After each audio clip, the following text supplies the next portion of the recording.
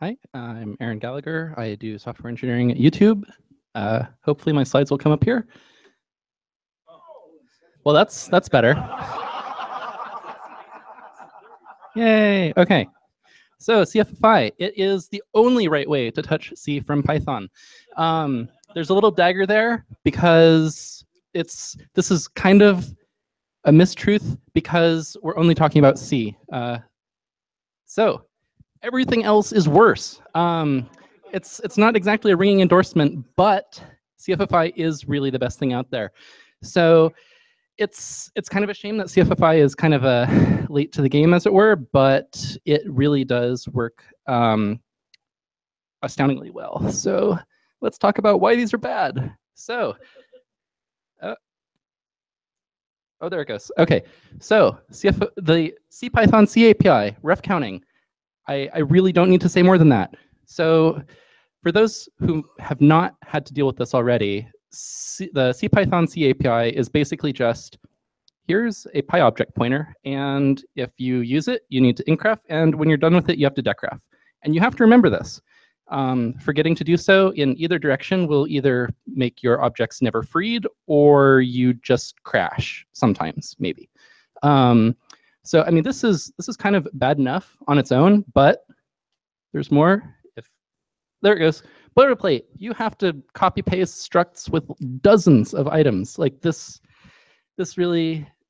Uh, there we go. Implementation details too. I mean, really, that is what C Python CAPI is. You have the internals of CPython. It's just a Python implementation, and they're like, well, people need to write extensions, so let's just show them what we have. Um, so all the stuff that you do is just kind of touching the inside of structs. Uh, I'll have I have some snippets of that later. You'll you'll get to see. But um, I mean, the thing is, why does this matter? Implementation details uh, that I'll also cover in just a sec. But so, what is bad about C types? It only targets the ABI. So API versus API, the API versus ABI is kind of uh, when you have uh, things like your defines and your enums and all this, this is something that you have to care about when you're binding to a C library because not all of this stuff is exposed in the sorry in the library itself. And so you require a C compiler to do that, which is terrible, but you have to. Like otherwise you um, I mean there's some things that'll kind of mitigate this, but you end up having to, like, it just codes it once. It doesn't actually look at the .h file that is relevant at the time. It's just always forever until you run the tool again, those values. Uh, it's very tedious. You also have to copy paste a bunch of stuff in from the uh, to to set the argtypes, the return values, all of this stuff, and dlopen. You basically have to re-implement a lot of what your dynamic linker already does, like look for uh, you know your your libraries on the system. Um, like half of the C uh, C types projects I've seen out there also fail to work on the macOS because they don't know that on the macOS your shared objects are called dot uh, instead of dot so. So Cython. Cython is great, but not for binding to C. Um, so this is what that little dagger was about. So when we're talking about C++, that's a whole nother thing. C, uh, CFFI is not actually great for C++ at the moment. And um, Cython does handle it pretty well, but CLIF, CLIF is really new. It's great. You should use it. Um, but you might not be able to because it's so new. But there's a there's a link. It's like Swig, but it doesn't suck. Um, it's it's written by people who realized that there are things that could be improved about Swig. Um, so that's about C++. And right, so this is all about C. I mean, there's of course the option to, if you're trying to bind to C++ code, then you can expose a C ABI because you have to deal with the fact that C++ and C code don't expose symbols the same way. Um, but so after all that, you know, how, how could CFFI actually be good? There's so many problems that you can have with everything. Well, so first, what is CFFI? So basically, CFFI is you have you you you describe to CFFI what is it that I have on the C side and what is it that I have on the Python side, and it basically does everything else. There, I mean, you you need a bit of stuff in your setup.py file. It'll generate a shared object and you can import it. And then, I mean, you can call directly from Python into C and also from C into Python. It's great. Um, I mean, there's the case of, you know, I, I want to write, like I have Python code and I want to make it fast, but I mean, that's what PyPy is for. You don't need to write C for that. So here's an example of the kind of thing I mean. So you have your CDEF. It's like, okay, that is basically just C syntax. It's a little trickier than that. It's a uh, domain-specific language that is mostly C, but not quite. Um, but so you define the things that you want to call, and that's in your, you know, the, the thing that CFFI reads to generate your thing. And then in Python, you just import the thing, and then you can call it, and that's it. So you do have to do a bit of second order wrapping around unsafe bits where you know, you, you're mun munching pointers around, you have to have all of your CFFI code. Um, I mean, you, you have your CFFI exposed bits, and then you have to call, like you have to build wrappers around them uh, so that it's safe. But this is logic that you can do in Python. You don't have to write C for it. So you end up not having to do super complicated things in C. It's all just Python logic. So but the thing is that CFFI also makes it really easy to call from C into Python. So they have this special thing, extern Python, that you can put on functions in your CDEF. And then in your Python code, then your FFI object will have a uh, def extern. So you just you put in the same name, and then you can just write in Python code, and then C code can call it just, I, I hope this is all readable, uh, but you can call it just like any other C function. Yes, that uh, I, I copy pasted that from the docs. I did not write that. So uh, yes, it's Python 2, but it, I mean, CFFI actually works really well across Python 2 and 3. Like uh, it does things just right in terms of bytes versus text and so on. But so one of the really important things about CFFI is it abstracts out Python because, I mean, this is really the problem with everything else. Uh, I mean, especially uh, the CPython C API is Python is very much part of everything you do at the like when you're actually writing your C code. So here's an example. this is a bug that I found. It was crashing PyPy. So MX date time is uh, kind of an old thing. I don't think anyone really knows about anymore or has to care about. But so this is this is something that they had in their CPython C extension. So this is their MX date time free function.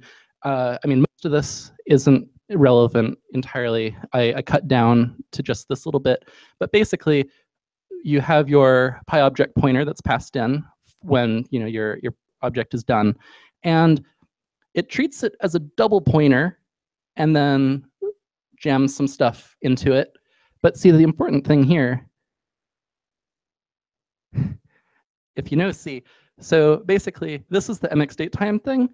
That thing at the top, that's supposed to be opaque. That is supposed to be implementation details, but they're just like, all right, we're gonna jam some stuff onto it. This crashes PyPy, and yeah, that was that was fun to debug. Um, but so it worked on CPython most of the time if you didn't compile with PyDebug. Um, and they had an if def around this, but they didn't check for PyPy, so it crashed. Yeah. But so as I kind of alluded to before, one of the important things about CFFI is it uses a C compiler. So it doesn't have to, it can, um, but the thing that you get out of this is that you have um, the ability to get things out of your C headers, like defines, enums, all these things that uh, another fun trick a lot of people will do is they'll make a function that looks like a function, but it's actually just a macro. Uh, CPython does this a lot, actually. Uh, but so something like C types, you just straight up can't call that. It doesn't exist at the ABI level, which is all that C types can call. Um, CFFI does have an ABI mode, so it can work like C types, but in general, it's not necessary. It you can use it like in some cases it's um, more convenient for like prototyping because it means that you don't have to rerun your C compiler every time. But in general, it's you, I mean you get the correctness out of this as well. The C compiler gets to check your work. So if your types don't line up, if your CDEFs are not don't have the right types, then the C compiler will complain most of the time. But you can embed CFFI. And I'm going to, oh, I, I, don't know if Moshe is watching, but you, you can embed it. But it's good. I, I, I am specifically going to say why. Yes. No, I, I'm going to tell you right now. So, so the thing about CFFI that's different from the, the reasons why embedding is bad in CPython um, so here's some more stuff. Here's CPython. CPython has a lot of functions. It has way too many functions. This isn't even all the functions that you might need for embedding. Um, whereas for CFFI, that, that's it. I lied. That's it. Uh, you don't you don't even always need this. So the difference is that CFFI makes all of this stuff transparent. You like it still completely abstracts Python out of it. So anytime you call one of your extern Python functions or extern C functions, you know everything will have been set up uh, like in advance. Like you don't actually have to have thought about it at all. But see, the important thing here is that there is not really a distinction between the embedding and extending that there is like in CPython. You can have your um, you can have your code, your initialization of your program in C or in Python. Like you can have your Python test runner call into your CFFI, uh, like through your CFFI bindings into your C code. Um, one of the use cases that uh, Moshe has talked about before is um, like, what if I am trying to unit test GIMP? And you know because it has Python stuff. So you can have your PyTest binary or whatever. It can call into GIMP, call all the initialization, and then just call the Python stuff like normal, as long as it's exposed in such a way that you know you can set up your state, you can call your your Python things as necessary. It doesn't actually matter who starts the program because everything is in the same shape either way. So yes, I mean, embedding isn't second class. Like it's, it is effectively treated the same as extending. Um, you might have to do this, like you, you do have to do the same work in both places. Um, I mean, but you, it is possible to do this. The, the thing that's great about CFFI is that because it lacks all the boilerplate and so on, you can make it, I mean, it's a lot easier to actually expose all this stuff in both directions in the first place. You don't have to care quite as much about like, you know, well, you know, this is this is so difficult. Why am I having to do all this work just to call one like an additional function? Um, let's see. And CFFI is built in if you're using PyPy, but you should be anyway. Uh, but even if you're not using PyPy, there's a lot of stuff out there already using CFFI, uh, cryptography, PyNaCl. Um, there's a lot of the a lot of the things, especially in the the sphere surrounding the cryptography project, that use CFFI because, I mean, it's it's the right choice, like I said before. But no, it's it's very likely that CFFI is already present on your system if you're writing a, a library or application or whatnot, and you're like, well, I don't want another dependency. You probably don't have to worry about it. Uh, so yeah, that's that's about everything. I, I don't I don't know. I lost my timer, so I don't know if we have time for questions or. Okay.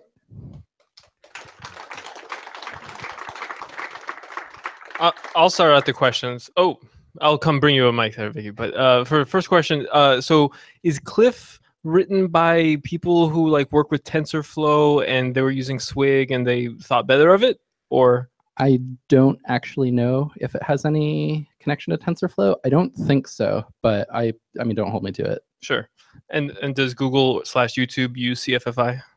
Uh, CFFI or CLIF? Or uh, CFFI. I I mean to an extent, like it's I mean there's third party stuff using it. It's not used as much as CLIF. Oh, okay. But yeah. I mean Interesting. Swig, it's all Swig. Sure, sure. Question? So I'm assuming that this is an open source project with a robust community. Oh yeah, no, this is this has the backing of the PyPy team. Like this this is all done by the PyPy people because they needed something for uh, C extensions that wasn't just cpyext. Um, so it, it works really well. And I, I mean, so that's it's um, actively developed. Like they have added so many features. Like there's a lot of um, like the extern Python thing is actually pretty new. Um, but yeah, I mean, it's in active development. They add things like as they need it for PyPy. They're very responsive. So Uh, so I'm just curious. I think you you said early on that uh, one of the advantages it has over C types is that you don't have to do. So I've used C types, and you had to like encode in every input argument and decode the output and everything. So how is that handled in C- CFFI? you're talking about text versus bytes, or Actually, no, no. Just like you know, convert every uh, Python object to a C type. That's what it's Okay, so uh, I mean CFFI. I, I mean I. th- It's been a while since I used C types, but I thought that it generally worked the same way in that you have like your integer types are just a Python integer and so on. It has encapsulation around pointer types. Um, so I mean, like when you get a pointer type out, it's wrapped in a thing. It's not just an integer. And when you pass the pointer type back in, I mean, you need it in that same shape. It doesn't just take an integer. Um, but I mean, for things like strings, like it'll take a byte string as you know, car star and so on. Um, I don't know if that entirely answered your question, but So you can just pass a lot of basic Python types straight in yeah, and yeah. I mean, the you know, there's only like three different types in C. There's uh, you know, ordinal integer type, which is just passed straight through. I mean, floats too. Um, there's pointers, which are kind of encapsulated. I guess you. I think that it structs work the same way. That it's all going to be wrapped up in a in a thing. I don't think I've ever returned a struct from a function in CFFI. I don't know. I, I'd assume it works, but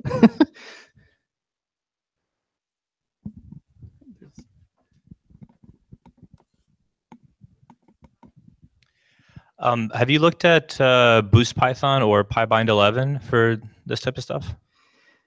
Uh, Boost Python, yes. I mean, it's effectively going to be the same set of problems as Python, where you're just targeting C, like the CPython C API. So, I mean, you lose all the the PyPy support. Um, it is a little bit better because it can use the C++ native stuff for the increfs and decrefs and so on.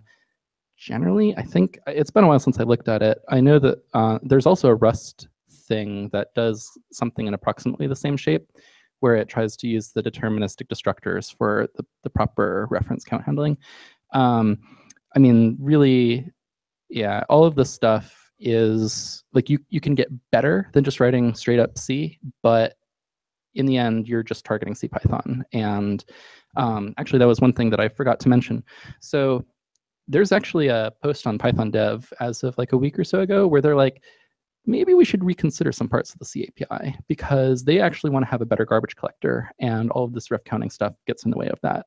And so, factoring Python out, I think, is generally a good idea. Um, I mean, uh, sorry, factoring out like the the specific implementation. I mean, I am fully in favor of the way that CFFI does it, where it factors Python out entirely. But um, yeah, I I guess from a philosophical standpoint, I don't like those kinds of things. and I haven't used uh, Boost Python in a while, but I haven't looked at uh, Py, uh, yeah, Py, yeah. It's basically Boost Python, but without the boost.